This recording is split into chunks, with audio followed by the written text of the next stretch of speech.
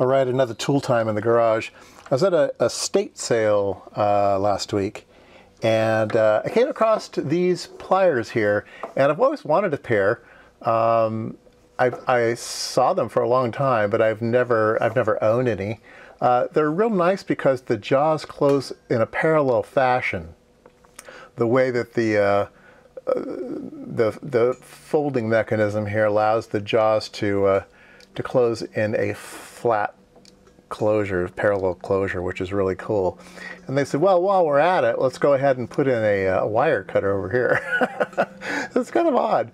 It's got this wire cutter that just kind of, you know, pokes out the side. So uh, really cool if you're working on wires and stuff. So here's a piece of hard, uh, hard fencing wire.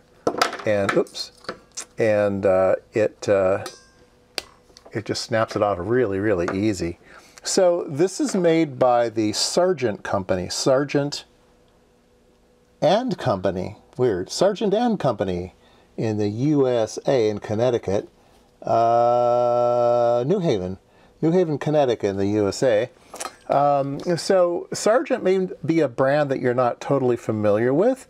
Um, I think they're the main makers of hole punches. So if you were a kid and used a hole punch, I think it was made by the Sargent Company. Uh, this is a model um, 102-S. There's a 102, but this is the fancy version. It has the spring in it that uh, pulls it back. So the spring is the dash S version. Um, but yeah, the Sargent Company, they made all kinds of stuff. They made a lot of things that were specific for a particular task. Uh, I think one of them's used in piano repair, one of them's used in jewelry making and stuff. Um, uh, some nice, some real nice hole punches. There maybe some um, wood planes and stuff. Kind of interesting company. I think they've been around for almost 200 years now, something like that. Um, and uh, yeah, it's a, uh, it's a it's a fun uh, fun tool. I like it.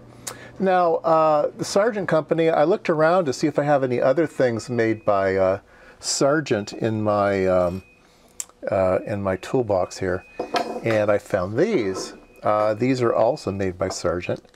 Uh, in fact, it says right on the uh, right on the side here, if you can read that, Sargent Company. Um, I also bought these at a at a uh, garage sale once. I thought they were really cool. Uh, they are also a wire cutter with some mechanical advantage to them.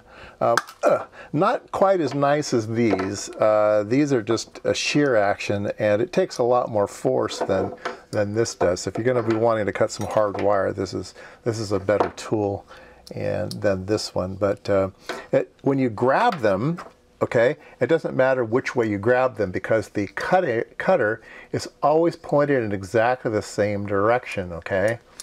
So if you're like opening up uh, bales of hay or something and you grab your cutter, and you, you don't have to worry about which way you have it going around like this, right? I think these were popular for farmers and stuff, you know, fencing and wire bales and stuff like that. So I think these are quite common in the used market. I think these are common also. Uh, there's a lot of other types of Sargent stuff that isn't so common though.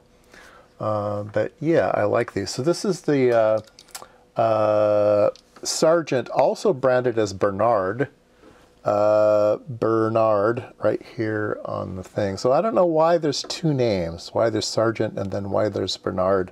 Bernard may have been a particular line of tools that they made.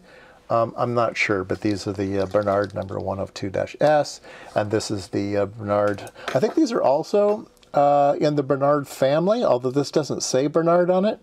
It just says Sargent on it. This is a 315, number 315 if you're going to look these up on eBay or something. So, yeah, uh, I do like them uh, because of the uh, parallel nature of this. I can imagine a lot of times where where that's going to come in real handy.